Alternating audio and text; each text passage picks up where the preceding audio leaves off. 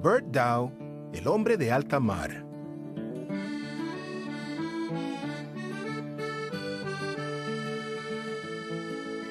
Bert Dow es un lobo de mar. Está retirado, pero de todos modos conserva dos botes. Uno es una canoa tan vieja y agujereada que ya no puede zarpar.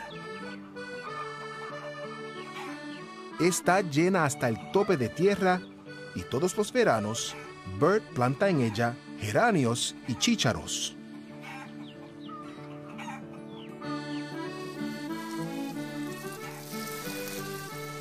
El otro bote es una barcaza llamada Tidely Idly, con un motor muy sencillo. Este bote también tiene filtraciones, salvo cuando está en la costa, para que lo emparchen y lo pinten, es decir, la mayor parte del tiempo. Tidely Idly es el mayor orgullo de Bert. De vez en cuando hace trabajos de pintura para otras personas y se lleva a casa lo que sobra para pintar a Tidely Idly. Ese tablón rosado, dice Bert, es de color de la alacena de Ginny Poor. Y el verde es del color del piso de la sala de espera del Dr. Walton. Bert Dow tiene una hermana llamada Lila que le cuida su casa. El ser más impaciente de la tierra y el mar, dice Bert. Vamos, Bert, es hora de comer.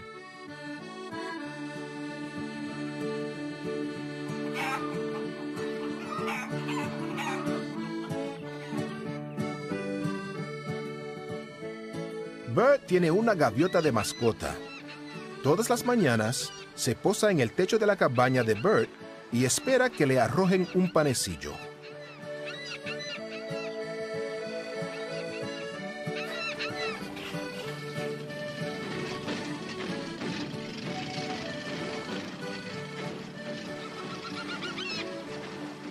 Todos en el pueblo se enteran cuando Bert se hace a la mar en Tidely Idly. Un viejo lobo de mar como yo siempre está pendiente de las condiciones del tiempo cuando está navegando, y más cuando se hace a la mar en una embarcación tan antigua y agujerada como Tidely Idly. Parecía ser un buen día, entonces Bert llevó a Tidely Idly Mar adentro para pescar bacalao. Entonces Bert sintió como si algo remolcara con fuerza su bote.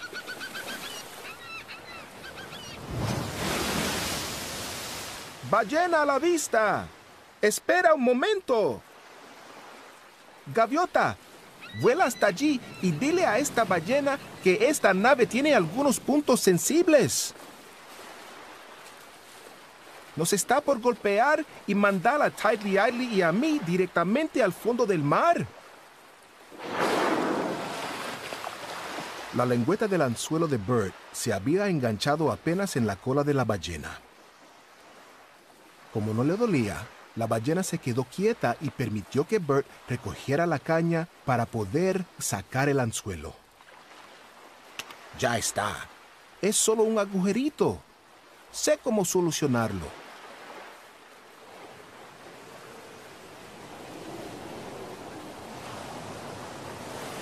Listo, capitán ballena. Apuesto a que su timón ya no se filtrará ni la cubierta se le llenará de agua. Pero Bert había descuidado las condiciones del tiempo. Tratando de solucionar el problema de la pobre ballena, Bert no se había dado cuenta de que el viento había empezado a soplar. Sabía que no llegaría a su casa. Por eso se acercó a la proa para hablar con la ballena cara a cara. Ballena, está soplando un vendaval. Y favor con favor se paga. El agua está por ahogar el motor. Supongo que Idly no tenga buen sabor, pero ¿podría tragarnos? Temporalmente, por supuesto, hasta que termine el vendaval.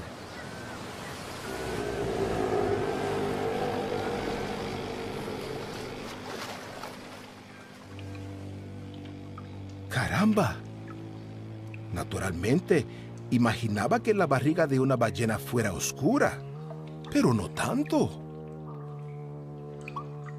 ¿Y si la ballena no pudo escuchar bien todo lo que le dije por el viento? ¿Y si es distraída? Quizás no sepa o no recuerde que somos huéspedes temporales. Gaviota, tenemos que asegurarnos de que podemos salir. Naturalmente, imaginaba que la barriga de una ballena fuera rosada, pero no pensé que sería de un color idéntico al de la alacena de Ginny Poor. Gaviota, tenemos que poner manos a la obra.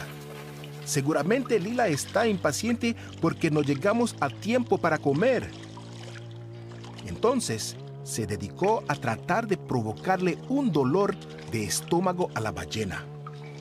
Empezó a sacar todo lo que había en el fondo de Tidley Idley.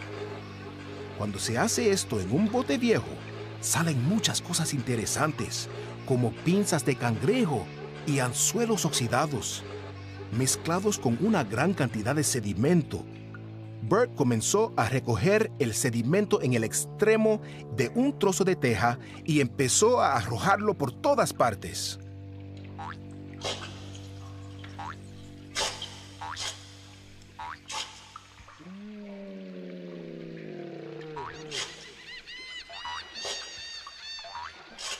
La barriga de la ballena comenzó a agitarse como un caballo espantando moscas. Luego, Bert abrió un galón que había quedado de la pintura amarilla de la cubierta. Estaba empezando a divertirse. Realmente, era la primera vez que tenía la oportunidad de expresar su personalidad a través de la pintura. Después, tomó una lata de grasa y comenzó a salpicarla. La barriga de la ballena no paraba de agitarse.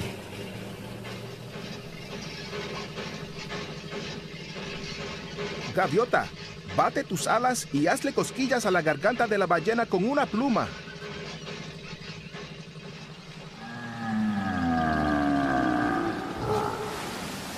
¡Caramba! ¿Cuántas colas de ballenas? Dicen que los árboles no dejan ver el bosque. Y yo diría que las colas tampoco dejan ver a las ballenas. Debe haber un motivo por el que todas estas ballenas mueven la cola en dirección a Tidley Idley todas menos una. Así es, esa ballena parece estar un poco indispuesta, pero al mismo tiempo parece estar satisfecha.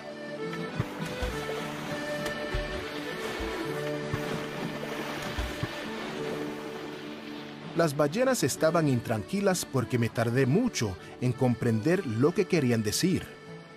Pero cuando de verdad se desesperaron fue cuando tuvieron que hacer fila para esperar que les adornara la cola con una venda. Un hombre de alta mar como Bert no pudo resistir la tentación de gritar, ¡Ballena a la vista! Nunca había visto a alguien tan feliz de ver una vieja cajita de vendas. Gaviota, Llevémosle la última venda a Lila. Y será mejor que nos apresuremos, así no la hacemos esperar. Y llegaron a casa justo a tiempo para el desayuno.